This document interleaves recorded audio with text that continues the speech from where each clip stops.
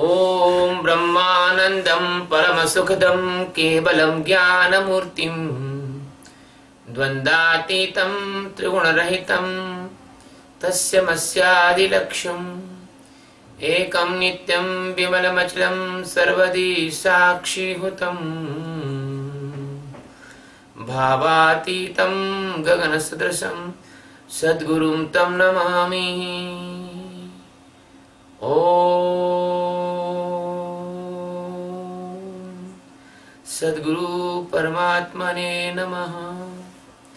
आज का जो सूत्र है गीता का, वो सूत्र है गीता में पहले अध्याय का और सातवां सूत्र। इस सूत्र में यह बताया है कि अस्माकम तु विशिष्टा तान निबोध त्रिजोत्तमा नायका मम सैन्य संज्ञार्थ तान ब्रवीमिते अस्माकम यानी अपने पक्ष में तो यानी भी विशिष्ट यानी विशेष ये ये यानी जो तानी बोध यानी उनको जान लो। द्विजोत्तमा यानी ब्राह्मणों में श्रेष्ठ नायका यानी सेन, सेना नायक मम यानी मेरे सैन्य यानी मेरी सेना के संज्ञार्थम तान विभिमित। संज्ञार्थम, यानी जानकारी के लिए, है ना? ताम यानी उनको, ब्रवीमी यानी बताता हूँ। एक एक शब्द का अर्थ बताना इसलिए ज़रूरी है कि आप लोगों को भी समझ में आए कि गीता में वास्तव में लिखा क्या है। और उसका वाकई वाकई में अर्थ क्या है और अपन लोगों ने क्या अर्थ किया है। और जो मैं आपको बताता हूँ, ये अर्थ वास्तविक देखा जाए तो ये अर्थ में नहीं, बल्कि इसके विशिष्ट अर्थ बता अर्थ तीन प्रकार के होते हैं। एक तो होता है शब्दार्थ, एक होता है भावार्थ और एक होता है विशिष्टार्थ। लेकिन ये तीनों ही साहित्य के अंतर्गत आते हैं। लेकिन जो आध्यात्मिक अर्थ होता है, वो अति विशिष्ट अर्थ है। तो ये जो दुर्योधन है, ये है अहंकार, क्योंकि हम तो साधना के पक्ष से बात करते हैं। हम विद्वत्ता के पक्ष से बात नहीं करते, हम संसार के पक्ष से बात नहीं करते, हम किसी को इम्प्रेस करने के लिए बात नहीं करते। हम तो हमारे जो जिज्ञासु हैं या संसार भर में जो परमात्मा के सच्चे प्रेमी हैं, हम तो उनके लिए बात करते हैं। तो अहंकार जो है, दुर्योधन, इसने पिछले सूत्रों में तो कौरवों की सेना के बारे में बताया। लेकिन अब अपने सेना के बारे में बता रहा है ये। ये अपने सेना के बारे में बता रहा है। तो जब कोई एक राजनीतिक दल का आदमी होता है और विरोधी दल के बारे में बात करता है तो विरोधी दल के बारे में जब बात करता है तो वो इनको छोटा सा, छोटा बताता है। लेकिन जब अपनी बात करता है तो बहुत बड़ा चढ़ा के बताता है। है ना? तो जो अहंकार है वो सदैव अपने को विशिष्ट समझता है। अहंकार अपने को सदैव विशिष्ट समझता है। एक बार क्या हुआ? एक जेल के अंदर कैदी रहा करते थे? तो वहाँ पर रोज नए नए कैदी आया करते थे। तो एक जेब कतरा गलती से वहाँ पहुँच गया। तो परिचय हुआ, बोले, आपने क्या किया? बोले जेब का जेब काट के आया हूँ। तो एक रैपट दिया एक कैदी ने उसको मिला के। कि भैया, क्यों मारा? बोले, पैर छू। बोले, क्यों? मैं जेब कट के स्कूल का प्रिंसिपल था।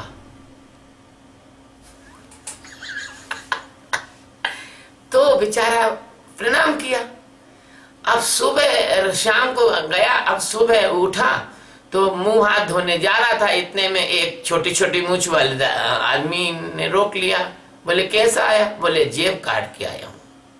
ने एक चाटा दिया। बोले, पैर छू बोले, क्यों? मैं हाथ और पैर तोड़कर आया हूँ तो तेरे से ज़्यादा मैं सम्मान्य व्यक्ति हूँ। बेचारे ने इसके भी पैर छुए। फिर क्या हुआ? आगे गया तो वहाँ पर नल पर एक आदमी नहा रहा था मूछ वाला। तो उसने देख लिया कि पैर इसने जेब, हाथ पैर तोड़ने वाले के छुए हैं तो वो अपनी चड्डी बनियान छोड़ के आया और एक रह पड़ दिया। बोले, क्यों भैया? बोले पैर छू बोले, क्यों? बोले, मैं एक मर्डर करके आया हूँ। तेरा बाप हूँ मैं, तेरे से बड़ा हूँ मैं, दादा हूँ पैर छू पैर छुए भैया। इसके बाद में बेचारा गरीब जो है मंजन अंजर करके बाहर को निकला ही होगा कि बड़ी बड़ी मूछ वाले जो है, एक डाकुओं के सरदार जो हैं, आ गए। उन्होंने दाव ना देखा ताव बेचारे को धुनक कर रख दिया, बोले, क्यों रे, गधे कहीं के? तू जेब का काटने वाले के प्रिंसिपल के पैर छू रहा है, तू हाथ पाँव तोड़ने वाले के छू रहा है तो एक मर्डर वाले छू रहा है, मैंने तीन सौ मर्डर किए, साले साष्टांग दंडवत प्रणाम कर मेरे को। बेचारा गरीब लेट के प्रणाम करा। तो इसको कहते हैं अहंकार। अपने समझ में आया कि नहीं आया? जेब कटो को भी, कैदियों को भी अपनी श्रेष्ठता का अहंकार रहता है कि मैं श्रेष्ठ हूँ। अब विचार कर लो कि दुर्योधन को क्यों ना होगा। वो तो राजा था, इंद्रप्रस्थ का। उसको क्यों ना होगा? तो वो अपने चट्टे वट्टों को जो है, वो चट्टे वट्टों को भी बहुत ज़्यादा समझता है। अहंकारी पुरुष जो होता है। कोई रामायण में चौपाई आती है। याद आ गई मुझे। वो कहते कि क्षुद्र नदी भर चली उतराई और जिमी थोड़े धन खल इतराई। जैसे कि थोड़ी सी पैसा प्राप्त होने पर क्या होता है कि दुष्ट आदमी इतराने लग जाता है। ऐसी छोटी नदी होती है, जरा सा पानी बरसा के उसमें बाढ़ आ जाती है। ऐसे जितना जितना आदमी छोटा होगा, उतना उतना बड़ा अहंकारी होता है। उसका अहंकार उतना बड़ा ही होता है। जैसे कोई कचरा बीनने वाला हो। आप कभी कचरा एक दिन में सुबह घूमने जा रहा था तो उधर से कचरा बीनने वाले लोग आ रहे थे। कंधे पे मेली कुचेली थैली थी और रास्ते के जो है, रात भर के लोग इधर उधर जो पाउच फेंक देते, वो बीन रहे थे। मैं उधर से निकला, मैंने उनकी वार्तालाप सुनी तो मैं दंग रह गया कि कचरा बीनने वाले क्या बात कर रहे थे? क्या रे क्या रे क्या मैं कचरा बीनता हूँ? यार, पूरे इंदौर में कोई नहीं बीन पाता होगा। तो दूसरे ने कहा, अरे जा, तू क्या कचरा बीनेगा? मैं तो कचरा जब बीनता हूँ ना तो बीड़ी के ठूंठ पड़े रहते हैं, उनको भी बीन लेता हूँ और फिर रात में आराम से कोई ठूंठ पीता हूँ मैं। तो कहने का तात्पर्य यह हुआ, मेरे भक्तों, मित्रों कि कचरा बीनने वाला भी अपने आप को मूर्ता होने पर क्या करता है? अपने को अति विशिष्ट व्यक्ति समझता है। उसको इतना अहंकार, इतनी मूर्ता होती है कि वो जो है, अगर कचरा बीनने वाले की भी कोई झूठी प्रशंसा कर दे तो वो तारीफ़ सुनकर इतना फूल जाएगा, हो सकता है उसमें से कचरा किसी को थोड़ा बहुत दे भी देवे। है ना? अभी क्या हुआ कि एक बार एक मित्र का सोने की चे, चैन गुम गई गलती से और कचरे के साथ उन्होंने फेंक दी। अब सुबह जो है कचरा उठाने वाला आया और वो थैली लेके चला गया। अब वो मित्र जो है सब दूर देख ली वो समझ गए कि चेन उसमें चली गई है तो उस कचरे बीनने के वाले के पास गए भैया तेरा कचरा थोड़ा पता तो मेरे को सामान आ गया है। तो उसने कहा वाह ऐसे कैसे बताऊँ? बहुत मेहनत के साथ आया हूँ। तो उसको बोले यार तेरे बता बता यार, बताता क्यों नहीं? गुस्सा होने लगा तो एक मित्र था, उसका, उसने कहा, देखो, ऐसे नहीं काम चलेगा। उसने कचरा बीनने वाले से कहा, भाई साहब, आप बहुत अच्छे व्यक्ति मैं आपको पाँच साल से जानता हूँ। है ना? और आप जैसा व्यक्ति तो मैं कह रहा हूँ कि कचरा तो आप बीन रहे हो तो ये तो बहुत बड़ा उपकार कर रहे हो। आप तो बहुत सेवा भावी आदमी हो। तो जो उसकी प्रशंसा की तो कचरे वाले ने झट थैली ऊंधा दी और वो सोने की चेन जिसमें थी। वो वाला जो कचरे का पैकेट उन्होंने ढूंढ लिया और ले चले। तो कहने का मतलब यह है कि कचरा बीनने वाला आदमी भी इतना अहंकारी होता है कि अगर कुछ को मीठे मीठे दो शब्द बोल दिए जाए तो वो भी उसमें मतलब जो है, अहंकार में इतना वो हो जाता है कि कचरे की थैली दे देता है। तो ऐसे ही जो दुर्योधन का है, उसका अहंकार था कचरे के समान था। कहा तो सच्चिदानंद परमात्मा, जगत के मालिक सृष्टि के कण कण में भरे दुनिया की सबसे सर्वोच्च चेतना के संवाहक भगवान श्री कृष्ण और कहा तो ये दुर्योधन? चींटी की औकात से भी ज़्यादा नीचे चींटी के पैर के अंदर जो एक छोटा सा कण होता है उसकी उतनी उसकी औकात भी नहीं थी। लेकिन वो अपने आप को कितना कितना दे, दे रहा था। वो कह रहा था कि अस्माकम तू विशिष्टता निबुद्धितमा देखो मेरे विशेष विशेष जो है, सेना नायकों को देखो। अब एक बात है कि शब्दों को और झूठी प्रशंसा को, ये संसार के अज्ञानी लोग समझते हैं, लेकिन ये सच्चा, सच्चे प्रेम को और सच्चा, सच्ची प्रशंसा को नहीं जानते। काणे से काना का हो तो काणा जाएगा रूठ। धीरे धीरे पूछ लो कैसे गई रे फूट। अगर किसी व्यक्ति को, अगर उसकी सच्चाई एकदम स्पष्ट शब्दों में बताओ तो वो नाराज़ हो जाएगा। है ना? लेकिन अगर किसी व्यक्ति को प्यार से पूछो तो वो सारा दिल खोल के बता देता है। लेकिन ये बात तो केवल और केवल किसी ज्ञान की ओर जाने वाले व्यक्ति के समझ में आ सकती है। संसारी आदमी के समझ में तो आ नहीं सकती। संसारी आदमी तो एक दूसरे को दुख देने वाले ही शब्द बोलते हैं। एक दूसरे को कष्ट देने वाले शब्द बोलते हैं, एक दूसरे को पीड़ा पहुँचाने वाले शब्द बोलते हैं। लेकिन चूँकि दुर्योधन का भी मतलब था, और दुर्योधन को युद्ध जीतने का, की लालसा थी, इसलिए कहते हैं ना कि गधे को समय पड़े बाका तो गधे को कहो, काका। तो समय तब विचित्र था। इसलिए उसने क्या कहा? उसने कहा कि, हे दुजोत्तम द्रोणाचार्य को दुजोत्तम का हमें ये बता रहा था आपको कि झूठी प्रशंसा करने वालों के हाथों पे तो अहंकारी लुटने को तैयार हो जाता है संसारी और शब्दों को प्रेम समझता है। लेकिन यदि उसे कोई सदगुरु सही मार्गदर्शन दे और सच्चा प्रेम देने वाला दे तो उसका तो वो दुश्मन हो जाता है, क्योंकि सच्चे प्रेम को तो वो जानता ही नहीं। एक बार क्या हुआ कि एक दूध वाला था, वो पानी मिला मिला के दूध मिलाता था। तो एक बबीता जैसी महिला थी। उसने कहा, क्यों भाई, तुम पानी मिला मिला के लाते हो? प्योर दूध क्यों नहीं लाते हो? तो उसने कहा कि, मालकिन, आप मान जाओ, मेरी बात। तो बोले, नहीं, प्योर दूध लाया करो। तो एक दिन क्या हुआ, उसने प्योर दूध लिया है अब बबीता ने क्या किया कि प्योर दूध को गर्म करा और पिला दिया घर वालों को। अब सुबह लग गए सबको दस्त, क्योंकि प्योर दूध कभी पिया नहीं था, हजम हुआ नहीं। ऐसे ही ये संसारियों को सदगुरु का प्योर दूध हजम नहीं होता है। अगर सदगुरु डायरेक्ट बात कहता है खींच के तो ये सब सदगुरु के दुश्मन हो जाते हैं। और इसीलिए आज तक परमहंस सदगुरुओं के पास कभी बड़ी भीड़ इकट्ठी नहीं हुई है करोड़ों की। जैसे ये कथावाचकों के पास लाखों करोड़ों की भीड़ इकट्ठी हो जाती है क्योंकि ये भागवत की कथा जब कहते हैं और पाँच हज़ार आदमी बैठे रहते हैं तो इनको सबको कह देते हैं, तुम सब हमारे चेले हो गए। लो, जो भी सुनने गया, गलती से उनका चेला हो गया। पाँच हज़ार लोगों को एकदम चेला बना देते। और उसमें पता नहीं लगा कि एक चेला एक धेला बराबर भी नहीं बचा। कुछ किसी ने शिष्यत्व ग्रहण ही नहीं किया, सुने और झटका कमी जो ये चल दी। तो इस प्रकार से जो दुर्योधन है, वो बहुत अच्छा अहंकार का उदाहरण है। द्रोणाचार्य तो ब्राह्मण तो थे नहीं, केवल जाति के ब्राह्मण थे वो तो। द्रोणाचार्य जाति के ब्राह्मण थे, लेकिन ब्रह्म वेत्ता तो थे नहीं। अगर वो ब्रह्म वेत्ता होते तो भगवान सच्चिदानंद सदगुरु श्री कृष्ण के खिलाफ क्यों लड़ते? क्यों धनुष बाण उठाते?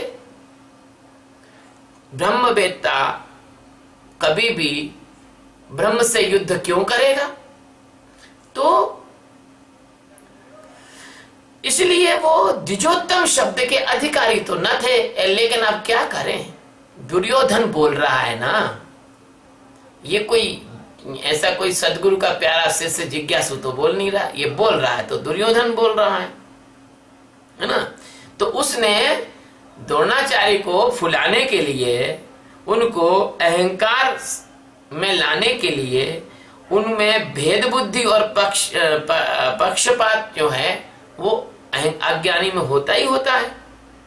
सो, अंदर से अंधा जो दुर्योधन था, उसने जब अर्जुन और कृष्ण में ब्रह्म की संभावना नहीं देखी भगवान श्री कृष्ण में भगवत्ता नहीं देखी और अर्जुन में ब्रह्म को जागने की संभावना नहीं देखी, क्योंकि क्यों देखेगा वो?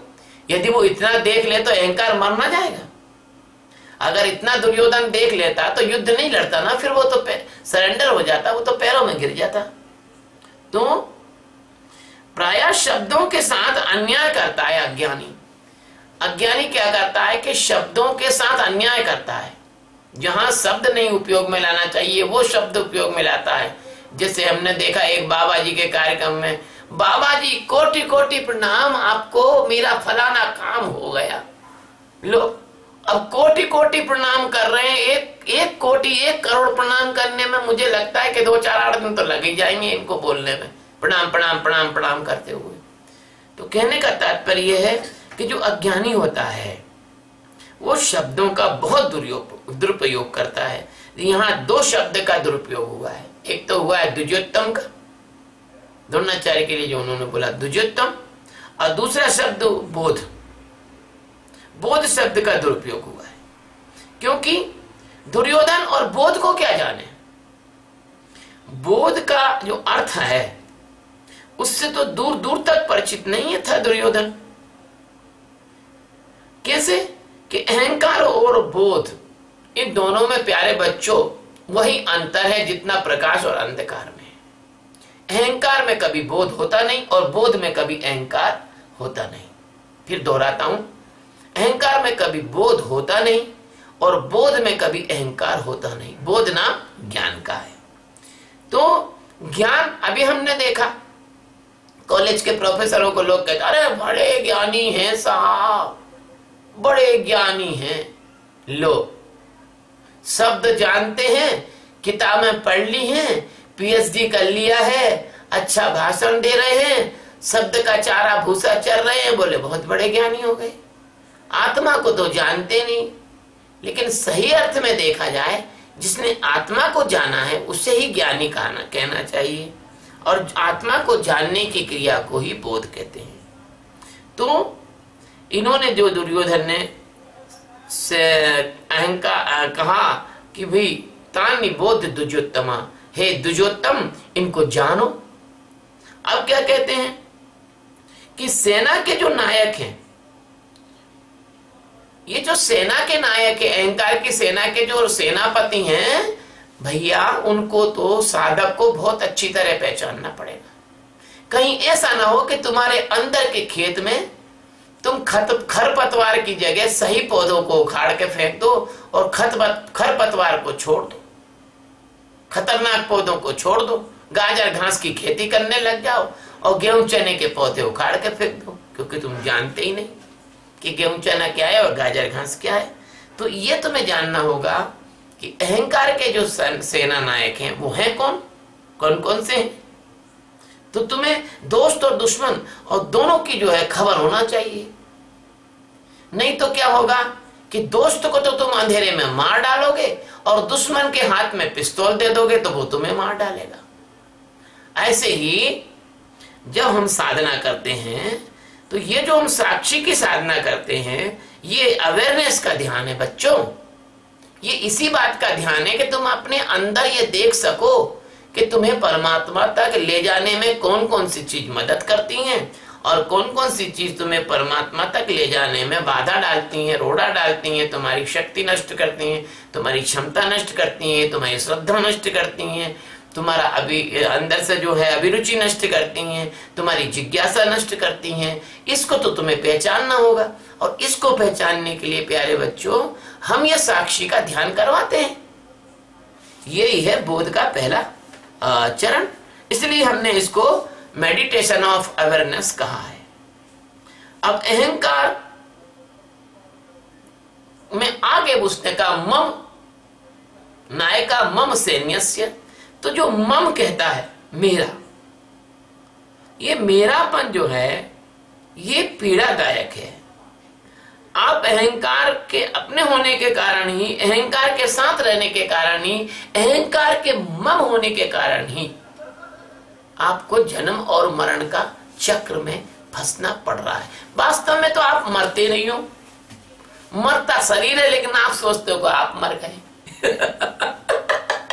ये बहुत बड़े आश्चर्य की बात है कि आप तो मरते नहीं हो। मरता तो क्या है? शरीर मरता है। लेकिन आपको भ्रांति हो जाती है कि हम मर गए। आपको ये भ्रांति हो जाती कि हम मर गए। मरता मतलब गिरता पदार्थ और आपको लगता है कि हम गिर गए, चैतन्य गिर गए। देह गिरता है, देह पदार्थ है। आप तो मरते नहीं हो, आप तो अजर अमर अविनाशी हो। लेकिन आपका क्या है कि अहंकार के साथ गठबंधन हो गया है। आपकी चेतना अहंकार के साथ गड्ढमड्ढ हो गई। उसकी वजह से क्या होता है कि आप अहंकार के साथ मम का संबंध जोड़े हो। कितना कीमती सूत्र है, बताओ ये। मम। नायका मम सैन्य तो क्या होता है कि अहंकार की जो सेना रहती है, उसके साथ आप अपना अपना अपन जोड़ लेते हो कि ये मैं मैं हूँ और ये मेरा है। और परमात्मा की जो सेना रहती है, उसके साथ आप अनजाने में जो है, विरुद्ध लड़ने लग जाते हो। अपने आप से लड़ने लग जाते हो। तो प्यारे सत्य बोध कि ये जो है ना, ये जीव को जो जन्म और मरण की जो भ्रांति की बीमारी हुई है, ये इसी मम के कारण, यानी इसी अहंकार के अपने होने के कारण, अहंकार के साथ रहने के कारण ही जीव को ये जन्म मरण की बीमारी हुई है। तो ये सो रामायण में लिखा है कि मैं और तोर, मोर, सब माया, इसका समर्थन रामायण भी करती है। और अपने को श्रेष्ठ समझने की जो मूर्खता है, जो मूर्खता है, उसके कारण क्या होता है कि अगर कोई शिष्य किसी गुरु के पास चला भी जाए तो वो अपने को श्रेष्ठ समझने की जो मूर्खता करता है, उसकी वजह से वो ज़िंदगी भर भी गुरु के पास बैठा रहे तो ज्ञान प्राप्त नहीं कर पाता। क्यों? कि वो अपने को श्रेष्ठ समझ रहा है। गुरु में, गुरु को अपने से कम समझ रहा है। गुरु की गलती ढूँढने की कोशिश कर रहा है। वो वहाँ ज्ञान प्राप्त करने थोड़ी बैठा है। वो तो अहंकार के साथ बैठा हुआ है। एक बार क्या हुआ? दो चींटियाँ थी। एक चींटी जो है, वो नमक के पहाड़ पर रहा करती थी और एक चींटी जो शकर के ढेर पर रहा करती थी। तो शकर के ढेर पर रहने वाली जो चींटी थी, उसने सोचा कि अपनी बहन को मैं शकर खिलाने के लिए आमंत्रित कर दू, न्योता दे दू। तो वो गई और बकायदा दे के आई, बोले, कल पूनम का दिन है और तुम्हारे घर आना और हमारे घर तेरे को हम भोजन कराएँगे। तो वो चीटी आई और उसने उसको शकर परोसी। तो उस चीटी ने शकर खाई, भी मुँह भी डाली। तो उससे पूछी, उसकी बहन ने, किस चीटी कि शकर कैसी लग रही है? तो वो बोलती है कि, मेरे को तो कुछ फ़र्क नहीं पड़ रहा। मेरे को तो जैसा नमक का स्वाद था, वैसे इस शकर में स्वाद आ रहा है। तो चीटी ने कहा कि अरे, ऐसे कैसे हो सकता है? मैं नमक का चकी हूँ, नमक खारा होता है, शक्कर मीठी होती है, ऐसा कैसे हो सकता है? तो बोले, नहीं नहीं, मेरे को तो ऐसा ही हो रहा है। तो उसने कहा अच्छा मुँह खोल। तो जो मुँह खोला तो जो चींटी नमक के ढेर से, पहाड़ से आई थी, वो पहले से ही उसके मुँह में नमक का डिल्ला एक फंसा हुआ था, छोटा सा। तो उन्होंने कहा, पहले इसको थूक। तो जब तक तुम अपनी श्रेष्ठता का अहंकार नहीं थूकोगे तब तक तुमको परमात्मा की मीठी शकर का स्वाद प्राप्त हो नहीं सकता। इसलिए अपने आप को श्रेष्ठ समझने का अहंकार छोड़ दो। यह है इसमें। इसका अर्थ यह है। कौन सा? कि नायका मम सैन्य है ना? और अब हमारे आ, हमारे साधु संत है कुछ। तो वो कहते हमको आत्म साक्षात्कार हो गया, हमको ज्ञान हो गया, हम बड़े परम मन से हम पलाने हैं। लेकिन उनका जब हम आचरण देखते हैं तो हमें लगता है कि इनके लक्षण तो सब जीव के दिख रहे हैं, क्योंकि चिलम वो पी रहे, बिड़ी वो पी रहे तमाकू वो खा रहे, है ना? आपस में झगड़ा वो कर रहे, है ना? जितना जो कुछ संसारी का जीवन है, वैसा उनका जीवन दिखता है। तो मुझे लगता है कि ये जो है, यही श्रेष्ठता का जो अहंकार है, वो दुनिया और समाज को दिखाने के लिए और दुनिया और समाज से पुजवाने के लिए वो अपने आप को ज्ञानी घोषित कर देते हैं। और किसको छल रहे हैं वो? अरे किसको छल रहे हैं वो? खुद को ही तो छल रहे हैं। जैसे किसी को घाव हो और घाव पे वो फूलों का गजरा बाँध ले तो उससे घाव सड़ता जाएगा अंदर अंदर और घाव जो है एक दिन नासूर बन जाएगा, कभी ठीक ना होने वाला घाव हो जाएगा। ऐसे ही जो लोग अपनी श्रेष्ठता का अहंकार लेकर सदगुरु के पास बैठे रहते हैं, वो अपने अज्ञान को नासूर बना लेते हैं। तो मैं ये कहना चाहता हूँ कि जब कोई अपने शरीर का ही ध्यान नहीं रख सकता अपने शरीर के प्रति भी अवेयर नहीं है, जागरूक नहीं है तो वो अपने मन बुद्धि, चित्त, अहंकार के प्रति क्या खाक जागरूक होगा? तो यदि कहीं आप देख लो किसी को, कि वो आत्म साक्षात्कारी है, और बीड़ी इत्यादि, सिगरेट इत्यादि, हुक्का, गांजा तमाकू खा पी रहा है तो बस समझ लो कि जो आदमी अपने स्थूल शरीर का ध्यान नहीं रख सकता वो सूक्ष्म शरीर और कारण शरीर का क्या ध्यान रखेगा क्या पार जाएगा? तो ज्ञान की जो परम चर, चरम जो अवस्था है वो जागरूकता सिखाती है जागरूकता की अवस्था है। वहाँ कदापि कदापि ऐसी बेहोशी की आप आशा नहीं कर सकते आप सोच नहीं सकते। फिर ये सारे लक्षण जीव दशा के हैं ब्रह्म चैतन्य के नहीं हैं। तो अब आगे के जो श्लोक आएँगे उनमें ये दुर्योधन रूपी अहंकार अपने सेना नायकों का परिचय कराएगा द्रोणाचार्य को। लेकिन मैं इतना इस श्लोक में आपको कहना चाहता हूँ कि सदगुरु के पास यदि बैठो तो अपनी श्रेष्ठता का भाव अपने जूतों में उतार के आओ। और परमात्मा की ओर यदि चलना है तो तुम्हें उन भाव दशाओं उन अवस्थाओं, उन वृत्तियों को भी देखना होगा जो आपको परमात्मा से दूर हटाने की कोशिश करते हैं, यानी अहंकार की सेना का भी आपको निरीक्षण करना होगा। सतगुरु भगवान की जय। स्वामी जी महाराज की जय। शिवोहम आज बस इतना ही।